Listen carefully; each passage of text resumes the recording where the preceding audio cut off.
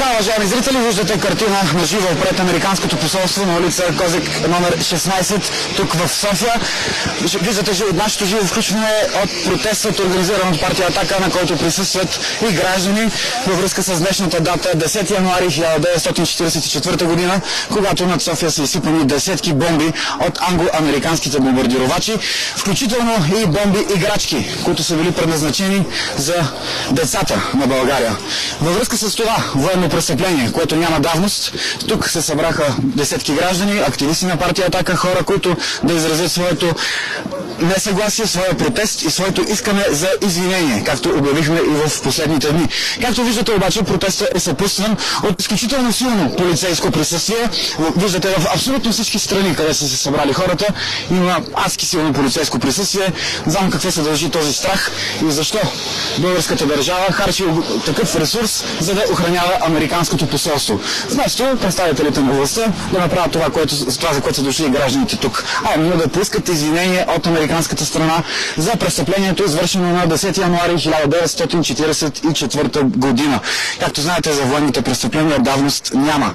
Да, може да не са живи ръководствата на държавите, които са заповядали атаките на София, но отговорността остава. Затова са дошли тук и хората да изразят своята позиция и своето мнение.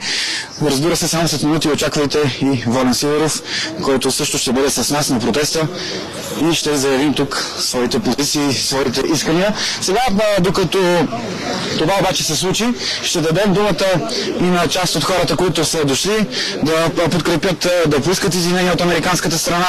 Ето тук виждаме и активисти на Атака. Здравейте, наживо сме в ефира на телевизия Алфа. Дошли сте в днешния, иначе студен, дъждовен ден, да изразите своята позиция. Какво заявявате на хората от улица Козик номер 16? Всички хора, които са дошли тук, основно са дошли да изразят своята позиция за това варварство, което се е случило преди 79 години. Аз лично обаче съм дошъл с още една цел. Дошъл съм тук, за да покажа своето съпричастие с нашите братя руснаци, които в момента са подложени на същото варварско отношение от същите тези хора, които преди 79 години са мир на София са я разрушили напълно. Благодаря ви.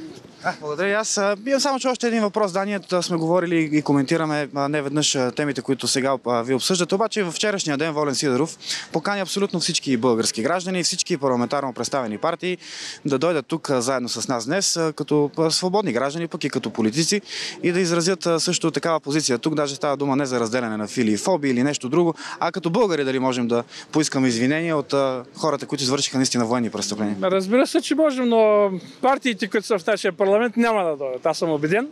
А които след края на това събиране отново направите интервю да видите, че никой няма да дойде от другите партии. Да, виждаме, че тях и няма, обаче пък за сметка на това виждаме изключително засилено полицейско присъствие. Ами според мен за сега сме 50 на 50 с лек превес на полицията. А какво се дължи според вас? Защо е нужно да бъде изпращана толкова много? Ами защото полицията има много голям ресурс. Те са 60 хиляди България. Тъй, че за тях не е проблем. Просто и са от София. Ние сме дошли от Варна, нали?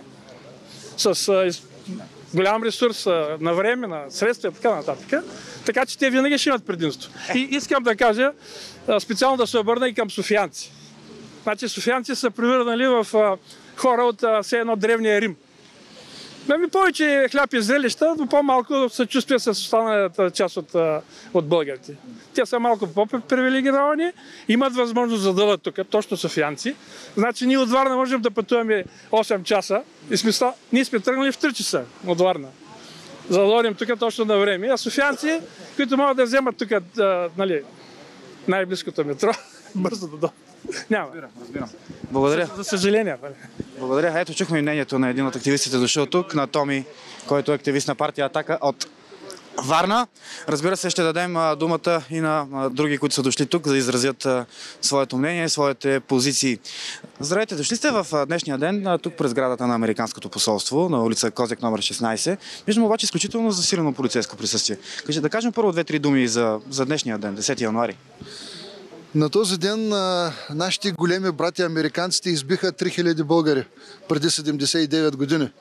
А като гледам толкова засилено полицейско присъствие, сигурно американците са и създали тая полиция. Аз съм тук да изразя съпричастието си с потомците на тия загинали хора, които ако не са тук, какво да кажа за тях. Добре, какво смятате? Дошли сте тук, за да поискате извинения от американската страна. Тук бяха поканени и доста политически партии, обаче за сега не виждаме от тях. Говоря за тези от парламента, пък и други. Тук сме на едно мероприятие като българи, в крайна сметка, за да защитим нашето достоинство. А, господата от парламента, с изключение на Възраждане, искам да подчертая, а, са марионетки на американците, на турците, на нашите виждам, виждам обаче, че и тях ги няма. Поканихме ги. Покани ги във вчерашния ден Волен Сидоров, абсолютно всички. Ами сега много от тяхна страна грешна позиция вземат. Според Не е мен. случайно. Не случайно. Не разбира се, да. Грешна политическа са позиция, защото на опозиция. когато излезат от парламента да погледнат какво пише на лозунга, че Съединението прави силата. Няма, Те грешна политика взеха и Богдан Филов 1941 година, като обяви война на Штатите и на, на България, и Штатите и Англия. Нали? Аз съм преживял бомбардировките и съм бягал. 11 годишен бех.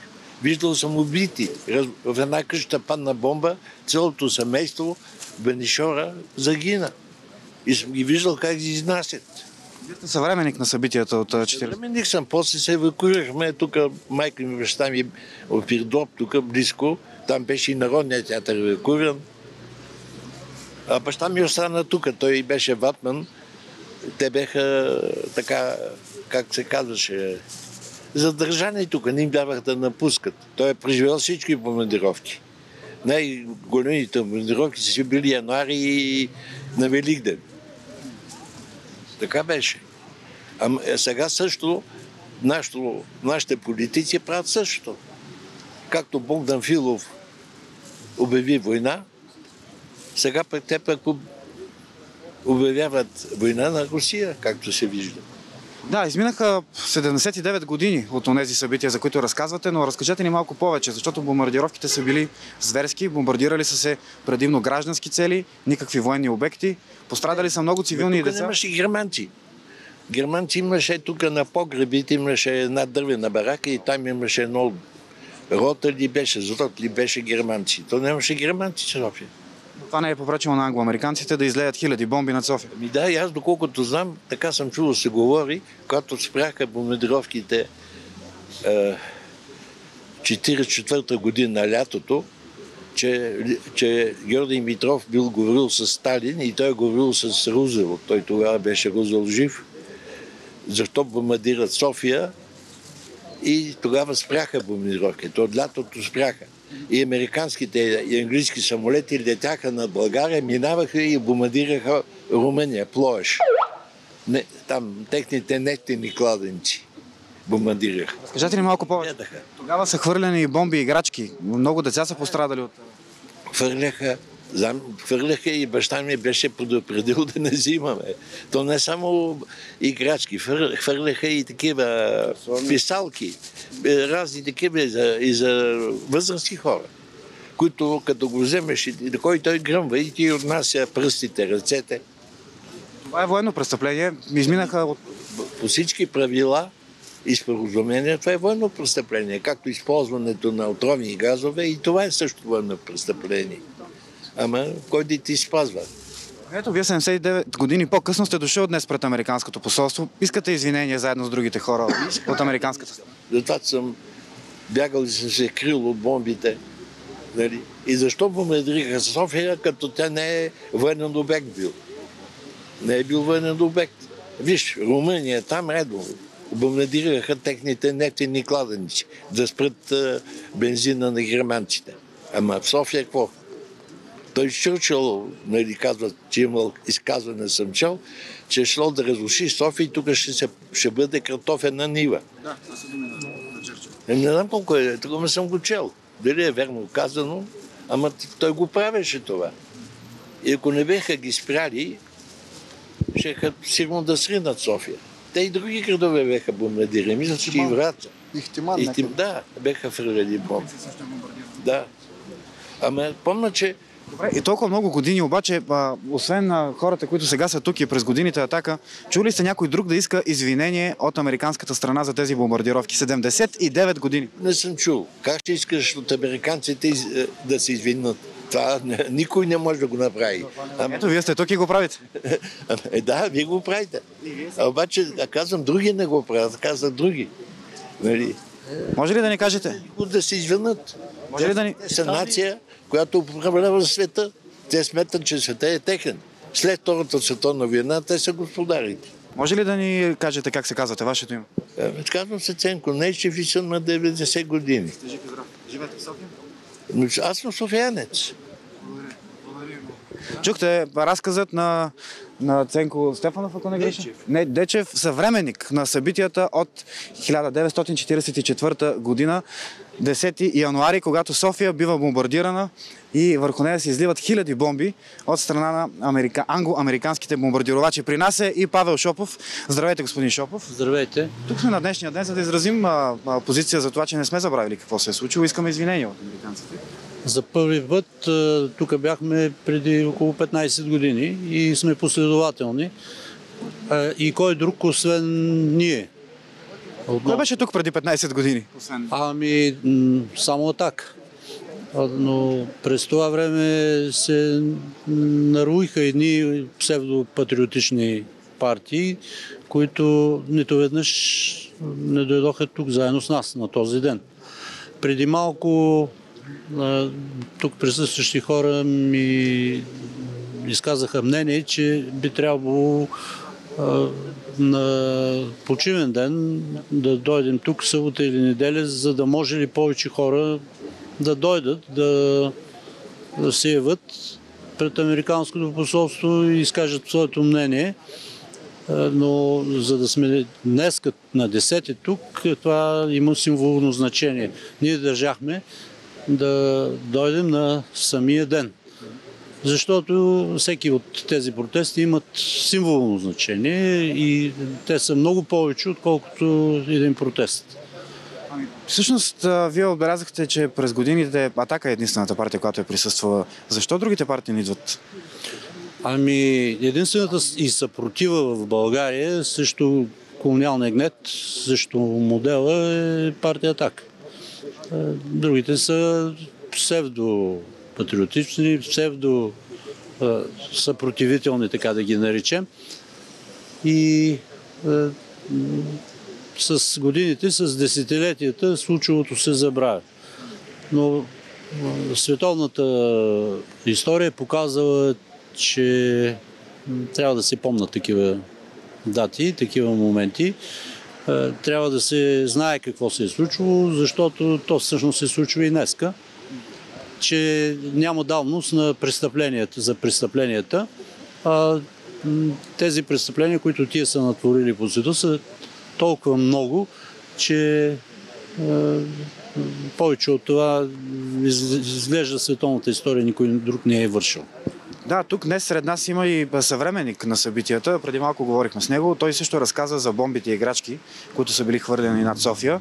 Включително бомби, писалки и всякакви други такива символи на това военно престъпление. Също обаче стана дума за това, че София е била град, в който не е имало германци. Може би каза, имаше горе в едни бараки тук извън града, ама германци не е имало. Аз а, не искам да се връщам на историята като конкретни факти и събития. Но това, което тогава се е случило по дни, по часове, тук не е един от а, хората, които на този ден са били под бомбите. Друг е, участник в е, това събитие днеска, на това място, на което сме се събрали, е, разказваше, че е бил на 7 години тогава и си спомняше и бойния ред на самолетите и описваше как са водени отпред от лайтингите, подробности за това. Да. Е, Но е, не е въпроса, казвам ви в подробностите. За мен е, нещата са важни като цяло, като е, начин на мислене, като голяма схема от случили се събития. В това морала на участниците в тези събития. Ние говорим и въпросът е в това, че Онези, които тогава са бомбардирали, не са си променили, въпреки цивилизационните промени с годините, с десетилетията, с времето, начина на мислене, на подход към световните събития и продължават да са същите. Точно това може би е най- най- най-големия, най- най-страшното в случая, че времето не е променило нищо по-скоро. Да, никой не е променил моралът на тези народи, които тогава са извършили вършили тези престъпления, те никога не се извиниха пред света, защото не само ние българите сме били потърпевши. Ако се върнем назад в десетилетията, ще видим и ще се спомним за цели изравнени градове, захвърлени атомни бомби и за престъпления, от които косите на човек настръхват но и, има още един многозначителен факт, че никога не е, не е направено дори извинение, а никога не е изказано съжаление за случилото си. Винаги вината е прехвърлена на някому други му за случилото си. Включително в момента в японските училища се поделят тезата и японските деца почват да учат за това, че атомните бомби над Хирошима и Нагазаки били хвърлени от руснаците. Да, пропагандата и, пропагандата и е иллюзията не познава граници. Да, Само, че ние тук пък имаме друг цинизъм. На, сград... на входа на сградата на Американското посолство, която зрителите на Алфа са виждали, ще покажем отново, има и един паметник. Паметник на хората бомбардирали София, американските и английски лица, които са хвърляли бомби над столицата и не само над столицата. А, това как го разглеждате вие? Като, как го виждате?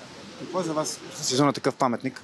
Това е другия факт, на който винаги сме наблягали, за който винаги сме настоявали да стане ясен, да хората да възроптаят, въпреки че това не се случва. И един факт, който гриживо е бил завуалиран – и непрекъснато а, са правени опити да му се придаде някакво, някакво малко несъществуващо значение, някакъв а, да, да бъде неглижиран.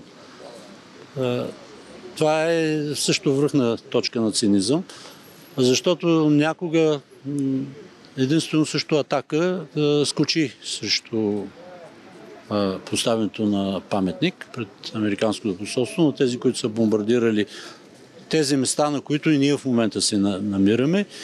И това е също висша форма на цинизъм и на незачитане на националните чувства на цял един народ. Започнахме разговора с това, че преди 15 години отново вие и отново партия Атака тук с погледа на времето, от позицията на времето толкова пъти, но пък само ние основно. Да, през годините с нас някой път са идвали и ВМРО, но с нас и след това повече не сме ги виждали. Но толкова много време изминава и поставяме ли тази, тази правилна семка в съзнанието на хората, защото се вижда, че наистина никой друг не иска да присъства тук. Страги или пък по някаква друга причина. Само ние сме тук. Са буждали все повече хора, давали надежда. И това е много тъжно. Аз днес очаквах, че тук ще ни подкрепят и от други патриотични формации. А, това, че тогава сме били само ние, е било логично, защото тогава имаше само една атака.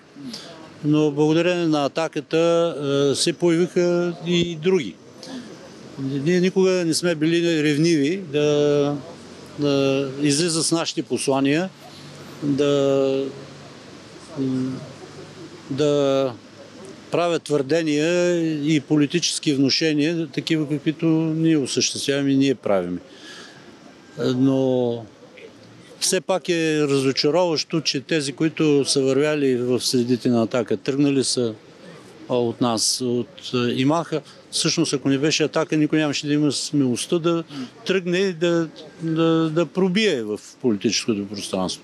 Има в момента една институционализирана в най-високата сфера на държавната власт партия, къде са тук Възраждане, къде е Костадин. Не знам, дано днеска да се сети да направи декларация или изявление от името на парламентарна група, от парламентарната трибуна. А, Това сме го правили ние, заради което сме отнасяли много укори и, и много негативни последици сме търпяли от това. Да, така е. Вярно е, че днес времето е и дъждовно, и студено, но това не е оплашило никой от хората, които са тук, хората от Атака. Както отбелязахте, обаче, може би по, по други причини отсъстват останалите. Не заради За студено. това можем само да, да гадаем, но за мен основната причина е в, с думата псевдо. Това са псевдопатриоти, псевдонационалисти, псевдобългари. Благодаря ви. Благодаря ви, Павел Шопов. На живо пред вас, уважаеми зрители, го а, видяхте. Тук ни я разказа. А, пък и това, което се случва от години, повече от 15 години, присъствие тук на пред Американското посолство, за да се покаже острото несъгласие с събитията от 10 януари 1944 и искането на извинение за извършването на, на, престъп, на военни престъпления от онзи период. Тук има и още хора, които са дошли да изразят несъгласието си. Каква е вашата оценка за събитията тогава? Смятате ли, че тук трябваше да има и представители на други формации, които да изразят своето несъгласие, искането на извинение от американската страна? А, аз искам да кажа, че според мен военните престъпления на Америка продължават както и 1944 година, така и сега през 23-та, като ни налагат а, а, такава политика, която е да а, с цел да унищожи економиката и народа на България, а, посредством такива методи като медийна пропаганда, а, прода, а, изпращане на оръжие за Украина, а, унищожаване на българската армия, закупуване на F-16, което ще ни струва 2 милиарда а, и повече. А, също така а, Вие цитирате действия на, на политическия елит от последните години. Смятате ли, че някой от тях има смелостта да поиска извинения от американската страна за бомбардировките през 1944-та, военните престъпления, извършени тогава? Смятате ли, че има смелост в тях да поискат извинения от американската не, според мен е, нямат смелост да се извинят на цялия свят, не само на България, а на, на цялия свят няма такава смелост да се извинят, да. Защото те налагат вече такава политика, която е за да ни унищожат на унищожение. Няма да се извинят, според мене. Да, това е моето благодаря. мнение. Да. Много ви благодаря. Още едно от мнението на хората, които са излезнали днес да изразят своите позиции. Тук виждаме и още един от, от хората, които са се дошли тук. И то доста, доста млади хора има сред нас днес. Здравей! Първо, на днешната дата, тя е черна в българската история. На 10 януари 1944 година са извършени мащабни, масивни бомбардировки над София и то единствено и само над граждански цели. Какво е твоето мнение за тези събития? Да. Ам, а, наистина над, българския народ се извършва геноцид. Това е един геноцид. Стреля се по, а, стреля се по цивилни обекти, а, хвърлени се играчки. Целта е а, Да, виж, това е интересният големия въпрос. Каква е целта? Защото самата столица на страната не представлява а, военен център, някакъв обект, който да обърне хода на войната, но против. Но позициите на някои от ръководствата на страните, понеже бомбардировките са англо-американски, например Черчил е смятал, че София трябва да бъде унищожена, да бъде сравнена с земята и да бъде превърната в картофен пояс. Това те питам малко с оглед на днешния ден, защото много псевдоанализатори и всякакви други обикалящи студията излизат и го цитират като някакъв пример за велик политик, пък ето той какво е мислил за София. Изобщо не е така. А, личи си, че те, те винаги цел- цел- целят мирното население и убиват мирното население, бомбандират. Тук, а, тук се целят граждански обекти. А, над Германия ца- се стреля по, по граждански обекти. Япония хвърлят две цели, две атомни бомби за, да, за убиване на мирно население. А, така че да. Много ти благодаря, много ти благодаря. Чухме още едно от мнението на хората тук, които са дошли да протестират. Сега виждаме, че към а, протеста идва и Волен Сидоров. Идва и Волен Сидоров. Здравейте, господин Сидоров. Събрали се днес хората. Авка, добре дошъл Добре на нашия митинг, да. Ами това е един пореден митинг, в който ние обясняваме защо сме тук. Не защото сме, не знам дали се чува, дали се отразява, не защото сме срещу американския народ, американската нация, доколкото има такава, а защото искаме извинение, че преди 79 години американски и английски леци са хвърляли бомби върху цивилни хора. И това е военно престъпление и по тогавашните закони. Значи има една Хагска конвенция в Хага прията. Те даже са няколко Хагски конвенции, които забраняват убийство на цивилни хора. А всъщност, да, не знам дали всички чуват, дали са... Да. А всъщност тогава, сега днеска е 10 януари, това е деня, в който американски английски бомбардировачи, самолети над 330-350 бомбардират София. София. Но в същото време трябва да кажем, че те през цял, целият период от есента на 43-та до 1, януар, 1 септември 44-та бомбардират 131 населени места в България. И това е по, така да се каже, по директива на Чърчил, който тук го увеличават като някакъв много сериозен политик. А той самия е казал, ми София трябва да бъде заличена от лицето на земята и там да се сеят картофи. Сега, това е трудно доказуемо, разбира се, но той така е казал. Тоест, тук се прилага една система на бомбен килим, на убийство на цивилни хора, включително на играчки за деца. Аз не знам дали вие, младите хора, знаете какъв е происхода на изказа на крилатата фраза играчка плачка. Играчка плачка. Всички сте го чували. Това е от 1944 година, когато англо-американците хвърлят кукли, писалки и други котийки с нещо лъскаво и когато едно дете го отвори, да му гръмне в ръцете. Значи трябва да си изключителен кретен и изключителен изруд, за да, да хвърлиш такова нещо. Аз не знам какви хора могат да направят това. Но явно това е, е факт, това се е случило. И сега ние сме тук в поредна година, в която казваме, ако, ако обичате, извинете се за тези военни престъпления, защото това са военни престъпления. Да, ние сме във война с Англия, с Америка, така е, но военните, е, международните конвенции забраняват убийство на цивилни хора, особено пък на деца.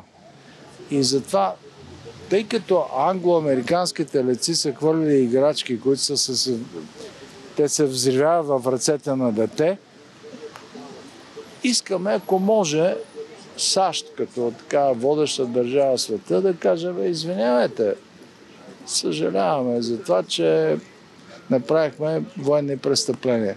И сега какво виждаме?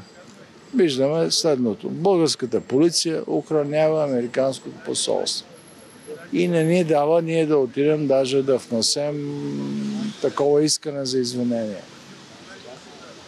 Българската полиция в момента е нещо като еничерски корпус, на който като му наредят я стойте тук, охранявайте, те охраняват. Аз не знам вие като медии какво ще кажете, как ще реагирате, дали ще може... Що не задавате тия въпроси? Сега в момента във всяко студио сяда някакъв политик, политолог, почва да разсъждава втория мандат, третия мандат, че има ли правителство. А ето, ние сме тук на 10 януари. 10 януари 44 година върху София се е изтипал ада. Ада се е изсипал. Над 800 убити, 13 000 сгради. Ей, сега ще прочета кои сгради точно са разрушени. Между тях е между другото и Софийската синагога. И също така и а, католическия храм Свети Йосиф. Също така е Света София от 5 век. Храма Свети Спас от 11 век. Значи, разрушени са църкви, училища, сгради, които нямат нищо общо с военното, а, с военната, как да кажем, военната реалност. Нали, не си въобразяваме, че от Софийската синагога ще излетят балистични ракети, които ще поразят САЩ. Не. Столичната библиотека е бомбардирана. Още много, много други сгради. Тук ги имам всички. Безценни ръкописи, стари книги са изгорели и са унищожени. И това е направено целенасочено и то е направено с, с мисъл. Тоест не е нещо случайно. И сега ние казваме, припомняме го това. Те са минали много години. Да, 79 години са много. Но все пак срещу, за тези престъпления, защото това са престъпления срещу човечеството, няма давност. Тоест, САЩ и Англия би трябвало да кажат, ами съжаляваме, извиняваме се, че бомбардирахме, унищожавахме цивилни хора, за това, че стреляхме срещу селени, защото те са стреляли с картечни срещу селени, убивали се деца, убивали се а, цивилни хора. Това няма нищо общо с войната.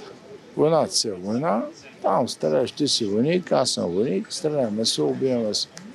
Но тук в случая става дума за военни престъпления. И ние за това сме тук и искаме да кажем, ако обичате, поне си извинете за това, което направих. Защото иначе излиза, че вие може да правите престъпление и затова няма наказание. А 79 години по-късно също има конфликт в Израел. У нас ние също не сме неутрална страна. Смятате ли, че може това да, повлияе, да ни повлияе по някакъв начин, това, че взимаме отношение в този конфликт? За кой конфликт говорите? Говоря за войната между Русия и Украина. Това не е война между Русия и Украина, това е война между Русия и, и САЩ на територията на Украина. Но това е една друга тема, която е много сериозна и дълга. Сега, ние в момента говорим за това, че българи бяха убивани в периода есента 43-та, 44-та. Какво общо има Русия и Украина с това? Понеже тогава правителството на Богдан Филов обявява в кавички символична война и сега доста от нашите управляващи се надяват и така представят нещата, че това, което предоставяме на Украина като оръжие, също е нещо, което на нас няма да ни навреди по никакъв начин. Това имам, това имам предвид. Ако търсите някакъв аналог, тогава Богдан Филов, който е един добър археолог, добър историк, но лош политик, а, отишъл да се похвали пред цар Борис III и му казал, Ваше Величество, абе, в Народното събрание гласувахме с ръкопляскания да обявим война на САЩ и Англия. И цар Борис, който все пак е от една династия, той е възпитан да бъде цар, му казал, бе, може да мине без ръкопляскания. Да. Един детайл, така. Сега, ако направим аналог, по същия начин, тук с ръкопляскане се приемат решения, в които да дадем оръжие. Искам да подчертая един исторически факт. Ние, през Втората световна война, бидейки, бидейки а, съюзник на Хитлеристска Германия, не даваме нито един войник на източния фронт. Първо. Второ, спасяваме нашите евреи. А, нещо, което е няма как да го... Никой няма как, как да го опровергае. Макар, че се опитват да, да го омалважат. А, освен това се оказваме балансьор между тогавашните воюващи страни, Съветски съюз, Англия, Великобритания и САЩ и хитлеристска Германия. Тоест ние пазим един баланс, който тогава ни спасява да не ни вземат територии, защото гърците са искали да вземат до Асеноград. И 46-7 година в парижките преговори представителя на Сталин Молотов казва, ами не, не, няма да. Няма да вземете тези територии. Гърция искала, ако може, до Асеноград, до родния град на Павел Шопов, до Пловдив някъде, до там да стигне. А Сърбия искала до Кюстендил и така нататък до... Да, ако може, Дупница, София и прочее. Всичко това нещо е парирано от Сталин и от Съветския съюз. Сега, веднага ще излезе някой, който ще ми каже, ма те си гонили интереса. Да, гони си интереса, но тогава нашия интерес и техния е съвпадал. Сега съвпада ли нашия интерес и американския? Защото американците ни разглеждат като територия, в която да воюваме срещу Русия. Ние не искаме. Ако питате българския народ, той не иска да воюва срещу Русия. И това е ясно, че воюва срещу Русия е обречена работа. Така че ние тук сме сега в момента, за да кажем Америка, Англия, извинете се за това, че хвърляхте играчки, бомби, които се взривяха в ръцете на деца. Значи какъв трябва да си, какво перверзно мислене, какво сатанинско мислене трябва да имаш, за да хвърлиш играчка, кукла, писалка или котийка, те са, това са били трите варианта, и детето да го вземе и да му се взриви в ръцете. Вие ми кажете, ако искате да направим спор, ако искате, да, поканете ме студиото, ще направим спор, някой може да каже, че това е че това е допустимо, че това трябва да бъде така. Аз смятам, че това е сатанинско мислене и сега тези полицаи, които пазят това посолство, те даже не знаят какво пазят. Те си мислят, че пазят е, едно чуждо посолство. Те пазят една терористична, едно терористично ядро. Между другото, тук кмета Софиянски го даде незаконно. И сега ще започна при вас във вашата телевизия има един водещ, господин Диков, разбира се, мой колега, много го уважавам. Искам да, ако искате, предложете му да започнем разследване как точно Софиянски даде част от Южния парк на, това, на, това, на американското посол незаконно. И да видим дали не може да ги изгоним от тук. Еми да, давайте. Давайте, ще, ще бъда радостен. Благодаря ви за вниманието и сега да. Много ви благодаря, че сте тук.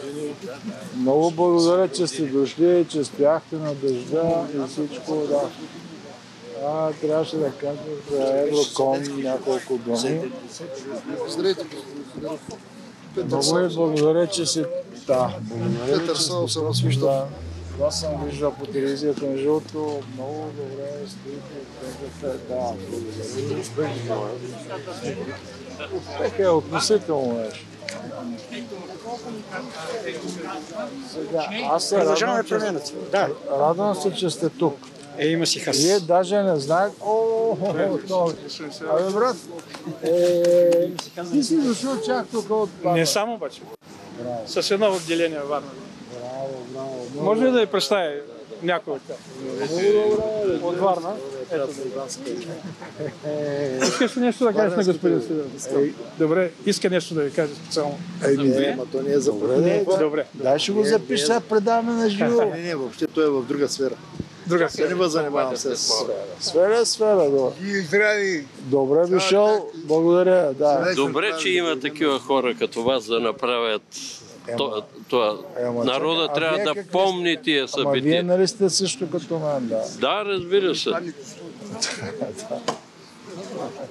Младото Добре, поколение кажа особено няколко не помни. пак, а, да. Ще да станем... Брат, Не знаеш какво си направил. Ти си дошъл тук да. Ти нямаш представа какво си направил. Е Нищо. За мен, че... Не, не, не. Голяма подкрепа си направил. Ти си направил нещо страхотно. Съжалявам, че толкова малко хора. Можеше Не, не, не, не, ти си направил нещо. Ти си тук, значи това е нещо страхотно. Да не говорим за Георги Николов, а, да, който е тук. А... О, Марти, какво правиш, брат? Тук съм с мой приятел Пламен Ценков. Пламен Ценков. Как си, брат? Всичко добре ли? Добре, сега ще направя почти малка. Нищо, почти нищо не е добре. Е, не сега. Не може, да. Чакай малко. един. сега. Слушайте какво ще ви напише и какво ще ви каже. Айде. Къде да застане и какво да бе.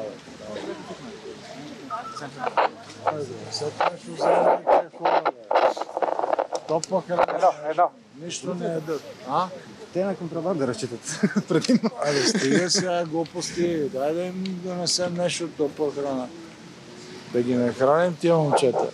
Стоят, карат ги сега да две редици и все едно ще правим преврат. Няма да, няма да правим преврат. Къде да застане и какво да каже сега? Да, само ми кажи. да. Добре. Окей, да. Така, не, аз, аз ще говоря на моите хора, няма да говоря на американците, които ги нямат, те, си- те ги нямат. Първо и благодаря на всички, че сте тук. Това е много, това е много сериозно. Защо не се чува? А, сега чува ли се? Така. Това е много сериозно. Вие сте направили нещо, което даже не знам дали го оценявате. Сега ще ви прочета първо. Първо. Ви прочитам списък на българските реци, които са загинали, бранейки своето небе. А, а, Криско, дай моля ти се, да, защото трябва да го така. Не, дръж ми и това. Поручик Лука Обреков. Фелфедъл Йордан Тодоров. Всички тия са загинали. Подпоручик Митю Дисов. Капитан Павел Павлов. Капитан Димитър Списаревски. Поручик Георги Гърнарджиев. Капитан Симеон Михайлов. Поручик Атанас Кръстев. След това следват още десетина. Тома Боев, Георги Гочев, Йордан Кобадинов, поручик Иван Бълджиев, поручик Христо Цанков, Феофедъл Иван Сомлев, капитан Любен Кондаков, поручик Димитър Попов, поручик Христо Арнудов, подпоручик Веселин Рачев, поручик Виктор Атанасов, поручик Иван Стефанов, Феофедъл Цвятко Загорски. Всички тези хора, скъпи приятели и съратници, дръж го, дръж така, са загинали, бранейки небето на София. И знаете ли какво е станало? 330 американски и английски самолети са нападали София и те са ги спрели с 20-30 до 40 самолета. Някои от тях са се нали, просто са направили таран. Сега, над България са свалени 117 военни самолети. А голям брой са тежко повредени. На англоамериканците са нанесени сериозни загуби в жива сила. 689 убити и пленени. Това да го чуе там, да. Това го правят ня- няколко наши 20-30, да. Плюс значителен брой ранени извадени от строя. На българска територия при нападението загиват 256 противникови лици. Това е по данни на противника. Значи, представете ли си, тяхната задача се е провалила. Те са искали да ни накарат ние да... Шок и ужас, те понеже тъпите американци винаги имат а, някакви такива заглавия. Шок и ужас. Тогава тяхната операция се е казвала Point Blank, т.е. прицел от упор. Сега ще отидем, ще ги разстреляме тия българи, ще ги пр- притиснем, ще ги направим. Изведнъж виждат нещо, което те не са виждали в живота си. Един от американците леци след войната пише спомени и казва, абе, българските леци се отбраняваха, все едно защитаваха нещо свято. Еми да, защитаваха не свято, защитаваха себе си, родината си, София, България. Те са били очудени, защото са смятали, че ние тук ще клекнем, ще свалим гащите, ще кажем за да, заповядайте. А ние ги правим луди, луди, луди, луди, пеперуди. И те знаят какво значи българска защита. Тези тук сега деца се скрили в този бункер. Сега, момчета, ще ви прочета а, какво е станало през всички тези години. Значи от края на 43-та година, след като умира Чува ли се, чува ли се добре само да... Да. Предаваме ли го това? Да. След като умира цар Борис III, който, който е един голям държавник, няма да влизам в тази тема, но той спестява възможността български войници да отиват на който и да е фронт, източен запада. След като умира цар Борис III, България е кола без шофьор. И тогава започват бомбардировките от есента на 43-та до 1 септември 44-та. Срещат се Чърчил и Рузвелт в Казабланка и решават да приложат операцията Point Blank, което означава прицел от упор, т.е. ще ги разстрелваме от упор. Сега, аз ще ви кажа първо сухите данни. А, Общия брой на вражески полети е 23 000. 168 населени места са бомбардирани в България, не е само София. С 45 и повече, близо 50 000 бомби. Много голяма част от тях са фугасни, запалителни и убийствени. Загиналите са 4208 души, тежко ранени 4744 и още много повече, които са станали инвалиди. България обаче при цялата работа губи 27 самолета и 22 свои летци.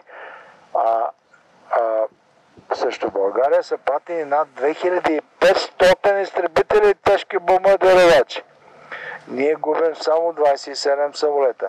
И това всъщност проваля цялата операция на англоамериканците, които те не очакват такава съпротива. Те не, не, те не смятат, че България има такива, а ние тук имаме такива, които казват, абе, ще, ще, и аз ще умра, обаче ще убия тебе. Така, сега, започвам да ви чета, защото статистиката е едно – Започвам да ви чета какво са унищожили англоамериканците, те бандити, терористи зад мен. Старопиталище Цар Борис. Катедрала Свети Александър Невски. Сериозно повредена. Църквата Свети Спас от 10 век. Унищожена. Средновековния храм Свети Николай. Построен през 12-13 век Света София, ранно-християнска катедрала, а, Френското католическо училище, Руски лицей, Немско училище за деца, черквата Ротонда Свети Георги от началото на 4 век, унищожена от... Това е, разбира се, много сериозен военен обект. Нали? Софийската метрополия, резиденцията на главата на Българската църква, ударена от ударните върни пожар. Духовната академия, църковен исторически археологически музей. Софийския университет Свети Климент Охридски. Художествената академия. Софийската духовна семинария в квартал Лозенец. Двореца Враня. Руската църква Свети Николай. Католическата катедрала Свети Йосиф. Евангелската църква на княз Батенберг протестантската черква на Първа евангелска на Солнска, голямата Софийска синагога. Тя разбира се е много сериозен обект с балистични ракети. Тя е ударена от англо-американските терористи. Там са унищожени безценни ръкописи от късното, ръко... е, късното средновековие. Окръжният съд, първата обществена сграда, освобождението, централните софийски хали, столична градска община и така нататък. И нататък. Това, това са всичко са сгради, които са с архитектурна, историческа стойност. Те са унищожени съзнателно и целенасочено на 10 януари 1944 година при две бомбардировки от английски и американски убийци. Убивали са деца. Те са убивали деца. Това не може да бъде простено. И ние сме затова тук, защото аз мога да прочета още много, много, много църкви, художествена галерия, епархийско свещеничество, издателски комплекс, Дома на изкуството е печата, Зала България, кинотеатър, Народния археологически музей, така нататък и така нататък. Всичко това не са военни обекти. Те са знали, че бомбардират цивилни обекти. И не само са знали, а са го правили с някакво наслаждение. Ти да хвърлиш кукли, писалки и котийки, които да избухнат в ръцете на, на децата, значи трябва да си някакъв сатанист. Тези са били сатанисти. И ние сме за това сега тук, за да кажем, извинете се, кажете поне извиняваме се. Ако не се извините, някой ден ще ви накараме да се извините. Ще стане, това ще дойде, този момент ще дойде, ще ви накараме да се извините, тогава ще се чуете къде се криете обаче.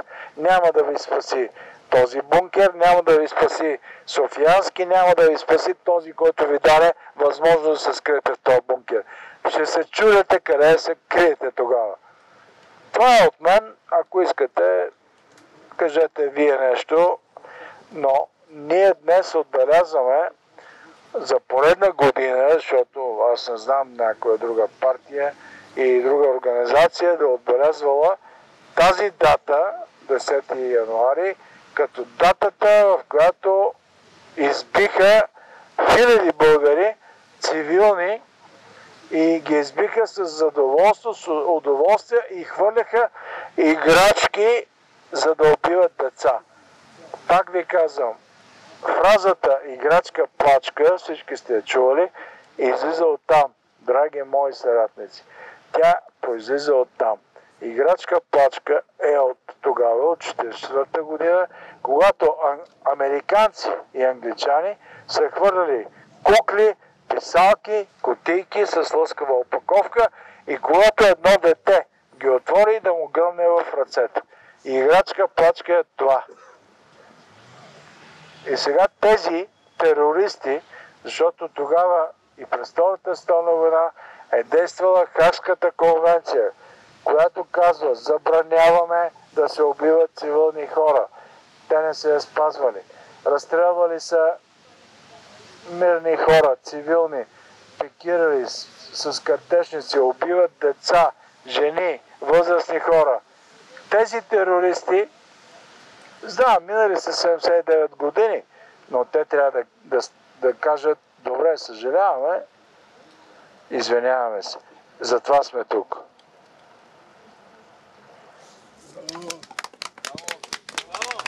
Атака!